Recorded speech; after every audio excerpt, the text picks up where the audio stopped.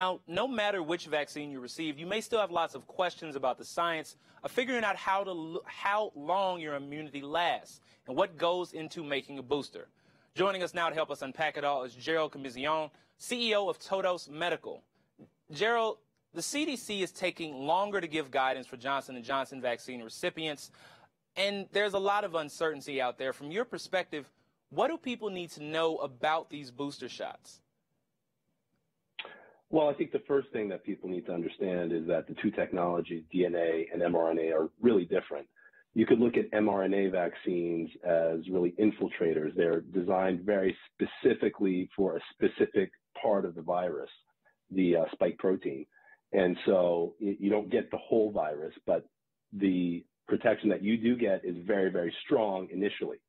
Um, that, you know, that does two things. One, it means that you have high levels of antibodies but those antibodies are very specific for the uh, disease, the the virus for which it was uh, designed. So that virus for which it was designed, the original Wuhan virus, no longer exists. You know, the Delta variant is the virus that exists and that is circulating. And so those vaccines, while they are do create a very strong immune response, it's it's much narrower than you would get with a DNA vaccine. And that's what we're seeing vis-a-vis the Johnson and Johnson. With Johnson and Johnson, you're seeing that you get a piece of the whole virus that your body responds to. And so there's a belief that you get a broader immune response. So it's not just to the spike protein, you get B cells and T cells. And because of that, your immunity improves over time. And so that's kind of what we're seeing. Those curves are crossing. Let me ask you this. You know, at this point, we've seen so much progress in regards to COVID vaccines for adults. The FDA authorized emergency use for the Pfizer shot in December. Why is the science here moving so fast for adults, but taking so long for kids? Well, I think, you know, what you need to look at with regards to adults is, in fact, the science, you know, is still progressing. What we're finding is that we've given those Pfizer shots, those Moderna shots, probably too close together. In other countries, because they wanted to get more people vaccinated sooner with their first shot, those shots were delayed two and three months. In the U.S., it was, you know, three to four weeks.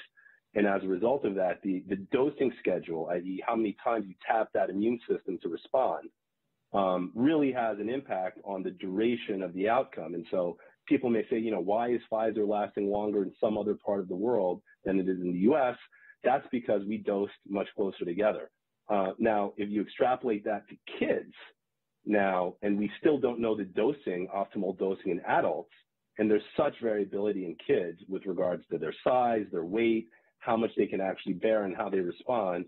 And then you look at that vis-a-vis, you know, what are the outcome in kids versus the outcome in, you know, some of these older populations. And you really have to ask yourself about the risk versus the benefit. So, you know, very on from the beginning of these vaccine development, the idea was we need to protect the most vulnerable first because those are the people that most at risk of dying, and that's what we've done. Now that we're moving on to kids, we need to be much more precise with the dosing because you could potentially have severe outcomes. And, and we don't know what's going to happen longer term as these kids are developing and whether it's going to impact. So I think, you know, overall, they're making the right move from a public health policy perspective to make sure they get it right. Gerald Commissiong from Todos Medical. Thank you. Thank you.